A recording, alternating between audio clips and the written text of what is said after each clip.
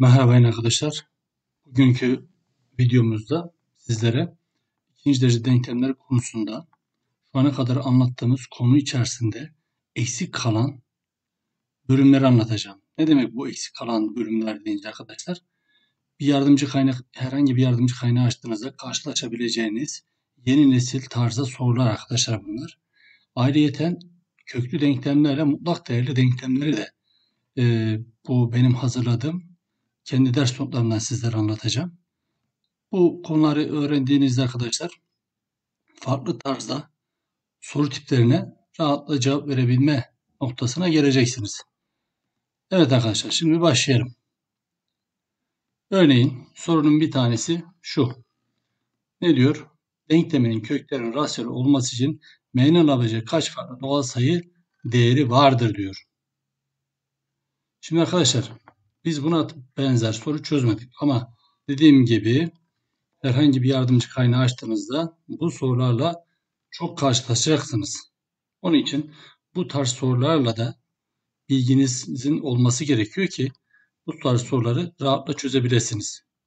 Şimdi çözelim arkadaşlar. Denklemin köklerinin bakın rasyonel olması, rasyonel sayı olması için m'nin alabilecek kaç farklı doğal sayı değeri vardır. M nasılmış arkadaşlar? Doğal sayıymış. Şimdi arkadaşlar başlayalım. Delta'ya bakalım. B kare eksi 4 AC. Deltamız ne? 36 eksi 4M. Arkadaşlar bu delta'nın yani kökün rasyonel olması için delta'nın kökten kurtulması lazım.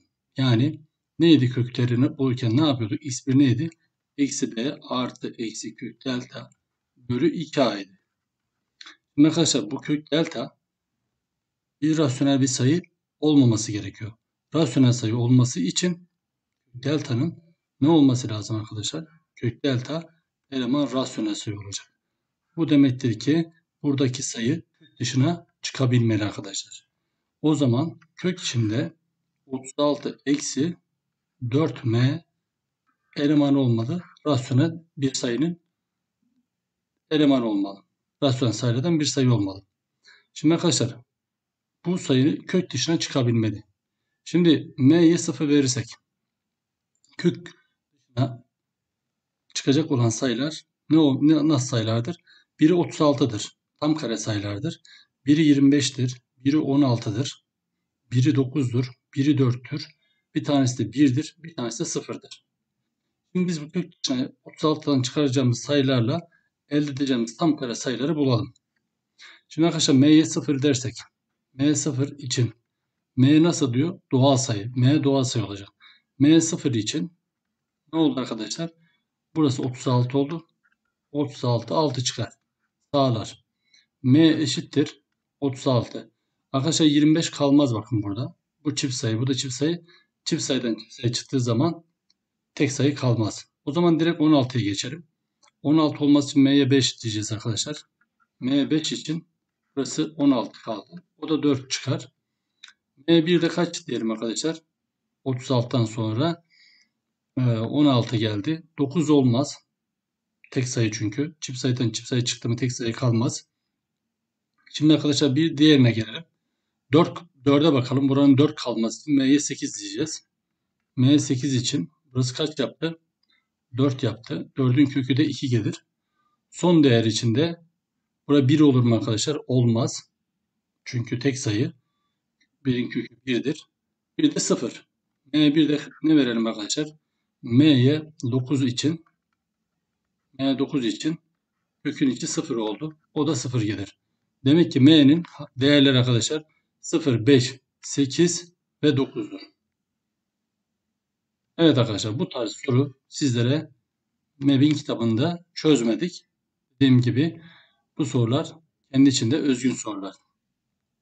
Şimdi m pozitif bir tam sayı olmak üzere diğer örneğimize bakalım arkadaşlar. m pozitif bir tam sayı olmak üzere x kare artı mx artı 24 denkleminin kökleri tam sayı olduğuna göre m'nin alabileceği değerlerin toplamı kaçtır diyor. Arkadaşlar m pozitif sayımız. Bakın bu çok önemli bizim için. Verilen bir bilgi. Denklemin kökleri tam sayı olacak. Arkadaşlar x kare artı mx artı 24. Hatırlayın buna, bu tarz bir soruda çözmemiştik daha önceden. Şimdi bu soruyu da çözelim arkadaşlar. Şimdi arkadaşlar 24'ün e, 24'ün çarpanları nedir arkadaşlar? Bir tanesini 1 alırsak diğerini de 24 alırız. 2'ye kaç alırız arkadaşlar? 12 alırız. 3'e kaç alırız? 8 alırız. 1'de kaç alırız arkadaşlar? 4'e 6 alırız. 24'ün çarpanlarını. Çünkü m pozitif tam sayılıyor arkadaşlar. Kökler çarpımı, kökler toplamı da ortada olur değil mi arkadaşlar? Bu, bu durumda m ne yapar arkadaşlar? Ee, 1 ile 24'ün çarpımı 24. m'nin top, bunların toplamı kaç yaptı? 25. m'nin alacağı değer 25 oldu. Şöyle gösterelim. 2 ile 12'yi çarp 24 oldu. Pardon 2 ile 12'yi topladık. 24 oldu arkadaşlar. 14 oldu. M'nin alacağı değer 14 yapar. 8'i topla 11 yapar. 4 ile 6'yı topla 10 yapar arkadaşlar. Şimdi bunları toplarsak da 5, 9, 10 elde var. 1, 3, 4, 5, 6. N'nin alacağı değerler toplamı 60'tır. Buradan ne anlıyoruz arkadaşlar? İki sayının çarpımı, denklemin kökler çarpımı 24. Bir de 24. Toplamı da neyi verir? M'yi verir. Yani ortada iki sayıdır hatırlarsak. Bunun çarpanlarını ayıracak olursa şu şekilde ayırırız. x artı 1 çarpı x artı 24 diye ayırırız bunun çarpanlarını. Evet. Bunu bu şekilde çarpanla ayırırız arkadaşlar. O zaman bunları çarptığımız zaman x kare artı 25x artı 24 eşittir 0 şeklinde bulmuş oluruz. Diğerlerini de aynı şekilde yapabiliriz. Ki aynı şekilde yapacağız. Dolayısıyla burada m'nin alacağı değerler de 60 oluyor. Arkadaşlar bakın bu sorular dediğim gibi kendi içinde özgün sorular. Bunları daha önceden çözmediyseniz bunların çözümünde e, ilk defa karşılaştığınızda yorum yapmakta sıkıntı yaşayabilirsiniz. Onun için de bu soru tipleri e, yeni sorular dediğimiz, yeni nesil sorular dediğimiz sorular olarak adlandırılıyor. E, dolayısıyla bu soruları çözdüğümüz için de siz ne yapıyorsunuz? Şimdi tecrübe kazanıyorsunuz arkadaşlar. Geçelim arkadaşlar diğer sorumuza. Evet buna benzer bir sorumuz daha var. İkinci dereceden denklemin kökleri birer rasyonel sayı olduğuna göre m'nin alacağı değerleri bulunuz diyor arkadaşlar. Denklemin kökleri birer rasyonel sayı. Arkadaşlar bakın m burada da var burada da var. Deltamız neydi? b kare eksi 4 ac. b'nin karesi. Eksi, eksi m artı 3'ün karesi 4 çarpı a çarpı c. Evet bunu açalım arkadaşlar. m kare artı 6m artı 9 eksi 4m artı 8 oldu. Delta'yı alalım arkadaşlar. m kare artı 2m artı 17 oldu. Arkadaşlar birinci soruda çözdüğümüz gibi hatırlarsanız ne olması lazım? Delta kök delta ne olması lazım? Elemanı olması lazım. Rasyonel sayının. Şimdi burada deltayı alalım. m kare artı 2m artı 17. Bunu şöyle yazalım. Delta'yı şöyle yazabilir miyiz? Tam kareye tamamlayalım arkadaşlar burayı. 17'den bir tane 1 alalım. m kare artı 2m artı 1 artı 16 diye yazarız. Delta'yı şöyle de tamamlayabiliriz. m artı 1'in karesi artı 16 diye yazalım bunu. m artı 1'in karesi artı 16 diye de bunu yazdık arkadaşlar. Şimdi bu ifadenin e, rasyonel sayı olması için arkadaşlar e, m artı 1'in karesi 0 olabilir. m için bize özel bir durum vermemiş arkadaşlar. m pozitif ya da negatif dememiş. Dolayısıyla m artı 1'in karesi 0 olursa 16 dışarı çıkar. Ya da m artı 1'in karesi 9 olursa 16'ya toplasak 25 yapar. Hatırlarsak arkadaşlar dik üçgenlerden 3'ün karesi artı 4'ün karesi ne yapar? Hatırlarsak 16, 9 daha 25. Dışarı kaç gelir? 5 gelir. Arkadaşlar 16'nın yanına 16'yı kimle toplarsak arkadaşlar 9'da toplarsak 25 yapar.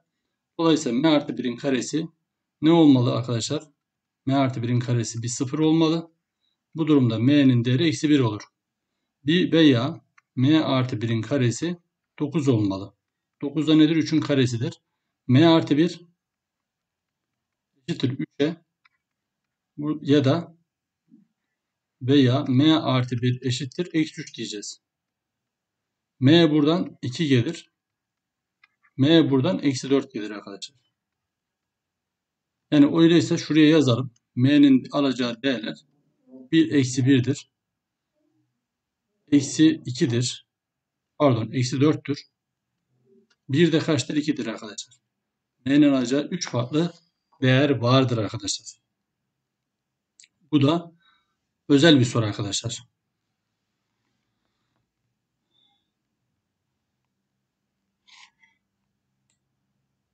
Şimdi arkadaşlar eksik olan yerlerden bir tanesi şuydu. Biz ne öğrendik? Delta denkleminin iki gerçek kökü varsa delta büyük eşit sıfır. Mesela bu e, bu böyle bir soruyla karşılaştığımızda e, bu bilgiyi size daha önceden vermedim. Yani veremedik. Milli Eğitim kitabında yoktu bu. E, test kitaplarında ya da yardımcı kaynaklarda bunlarla ilgili sorularla karşılaşacaksınız arkadaşlar. Bunu da anlatalım size. Denklemin iki gerçek kökü varsa iki bakın denkleminin birbirinden farklı birbirinden farklı diye size biz konuyu öğretmiştik. Denkleminin birbirinden farklı iki gerçek kökü varsa neydi arkadaşlar? Delta büyüktür sıfır. Ama burada birbirinden farklı demiyor. Kökleri birbirinden farklı demiyor. Ne diyor arkadaşlar? Denkleminin iki farklı gerçek kökü varsa diyor. Bu ne anlama geliyor? Şu oluyor arkadaşlar o zaman.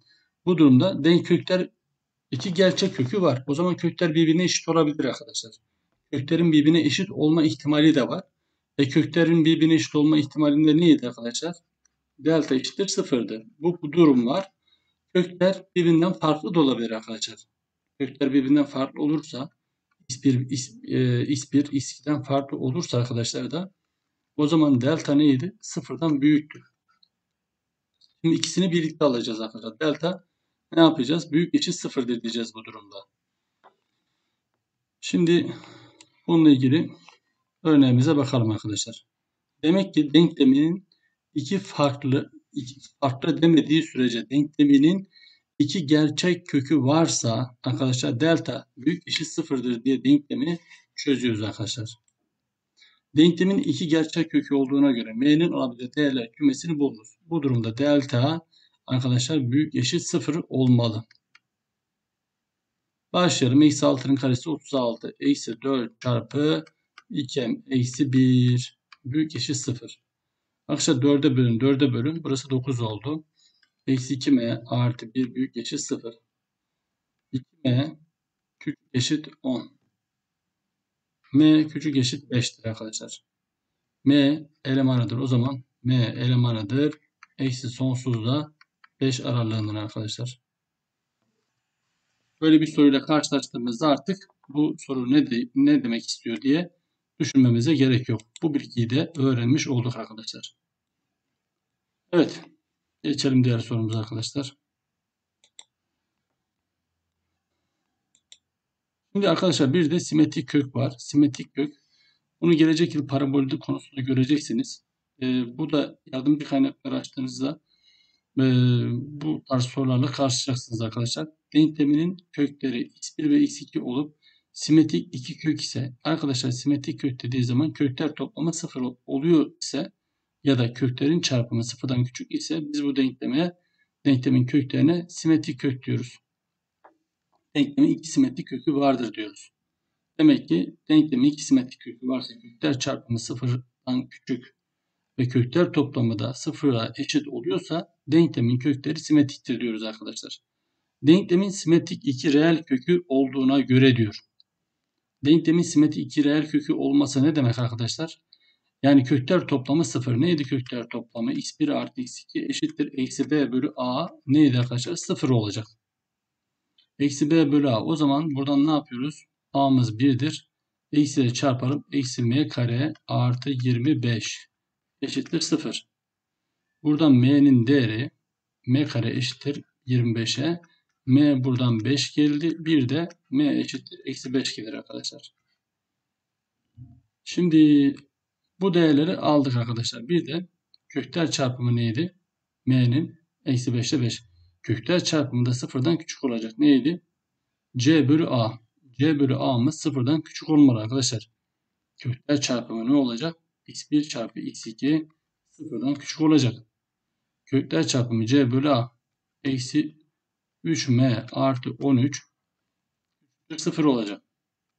Eksi 3m küçüktür eksi 13. m büyüktür kaçtan? 13 bölü 3'ten. O da kaçtır? 13 bölü 3'ten 5 olmuyor arkadaşlar. M'nin alacağı değer kaçtır arkadaşlar? 5'tir bakın. M'yi 5 olarak buluruz arkadaşlar.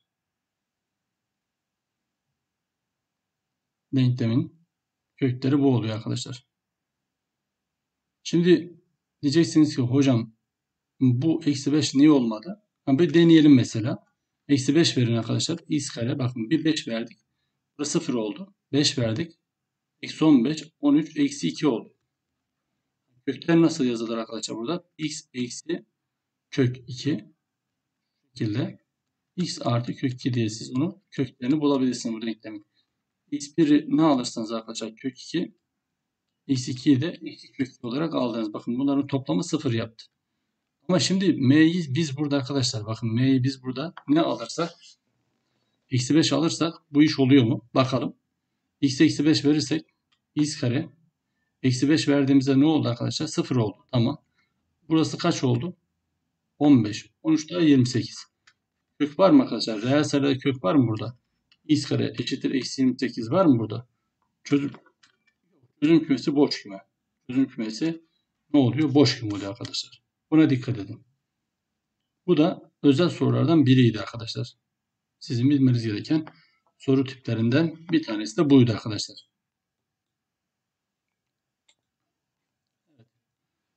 Diğer sorumuza bakalım. Denklemin simetrik iki kökü olduğuna göre 2m artı k ve 24 eksi 3k olduğuna göre m k çarpımı kaçtır diyor arkadaşlar. Denklemin simetrik iki kökü. Arkadaşlar bakalım şimdi buradan. Denklemin simetrik iki kökü. O zaman kökler toplamı nedir olacak? x1 artı x2 ne olmalı arkadaşlar? 0 olmalı. Bu durumda kökler toplamını alalım arkadaşlar. Evet kökler toplamı ne olacak? 4k eksi bu şu denklem simetrik kök bunların toplamı 0 olacak o zaman. Bir de kökler toplamı 0 olacak arkadaşlar. Şurada eksi b bölü a neydi? Eksi b bölü a eksi 4k eksi artı m. Kökler toplamı eşittir 0 olacak.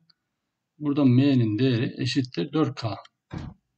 Bir de bu kökler toplamı da 0 eşit olacak arkadaşlar. 2m artı k artı 24 eksi 3k eşittir 0 diye yazalım. Buradan 2m eksi 2k artı 24 eşittir 0 geldi. M'nin yerine 4k yazarsak 8k 2 çıktı 6k eşittir eksi 24. K'nın değeri eksi 4 yaptı arkadaşlar. M'nin değeri kaç oldu? M'nin değeri de eksi 16 geldi. K ile M'nin çarpımı 64 yaptı arkadaşlar. M ile K'nın çarpımı da 64 yaptı. Evet arkadaşlar. Denklemin simetri iki kökü. K'ya kaç verdim? M'nin değeri x 16, x 32, x 36 oldu. Bakın değersek 36. M kaçtı? K'ya da kaç verdik? 12 de buradan geldi. Bu da artı 36 oldu arkadaşlar bakın. Bu m'ye kaç verdik? Eksi 16. Eksi 32 yaptı. 4 daha eksi 36 oldu bu kök. Bu kök kaç yaptık? K'ya kaç verdik? Eksi 4 verdik. Artı 36 da bu kök oldu arkadaşlar. Yaptığımız iş doğru. Sağlamasını da yaptık arkadaşlar. Ve bu kökler durumu da bu oluyor arkadaşlar. Denklemlerin kökleri de bu şekilde bulunmuş oluyor. Evet arkadaşlar diğer bir bilgi iki denklem arasında bağıntılarda şunu hatırlayalım. Denklemlerin çözüm kümeleri A ikinci dereceden bir denklem verilmiş. Bir bilinmeyenle ikinci dereceden bir denklem verilmiş. iki tane denklem verilmiş. Denklemlerin çözüm kümeleri aynı ise arkadaşlar iz karelerin katsayı oranları, x'lerin katsayı oranları, sabitlerin oranları birbirine eşittir. Bu da ekstra bir bilgi, pratik bilgi arkadaşlar bu da. Bu da size bazı e, bu tarz soruların çözümünde kolaylık sağlayacak arkadaşlar. Çözüm kümeleri aynıysa x'in katsayısı kaçtır arkadaşlar? Bakın iki tane denklem vermiş burada. x'in katsayısı 1, iskarın katsayısı 1, iskarın katsayısı 2, m bölü 4 arkadaşlar. Buradan da m'nin değeri 2 gelir arkadaşlar. Burada da m'nin değeri kaç geldi? 2 geldi arkadaşlar. Evet arkadaşlar. Bundan sonraki konumuz da şimdi bundan sonraki dersimizde sizlere köklü denklemleri anlatacağım. Şimdiki arkadaşlar bu dersimizde burada sona eriyor. köklü denklemlerde görüşmek üzere. Hoşçakalın.